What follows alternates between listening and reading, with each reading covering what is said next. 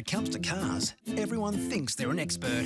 But the real experts chose the Hyundai i30 as the best small car in Australia. Now on run out from just $19,990 drive away plus a $1,000 EFTPOS card.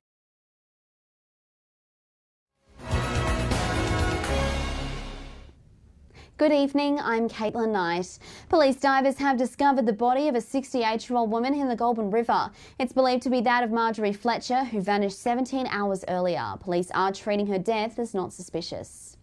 Corowa-born golfer Marcus Fraser's made an Olympic record in Rio, finishing up in his round with 8 under 63. It's the lowest round in the sport's first Olympic tournament in more than a century. And Albury teen Michael Free has today been handed the New South Wales Ambulance Star Award. The 13-year-old managed to stay calm during an emergency and helped his mum get urgent medical attention for her lung condition. Here's the weather on the satellite. A beautiful day in Gippsland tomorrow with no rain expected. Northeastern Victoria is expecting some showers. A cloudy day in Bendigo and the Goulburn Valley. Showers in Western Victoria, particularly in Ballarat. Looking at the national map, fine in Brisbane tomorrow, 24 degrees, sunny in Darwin, a top of 33. Blue skies in Sydney and Melbourne with 20 and 16. A frosty start in Canberra with 14. Possible showers in Hobart with 14 as well.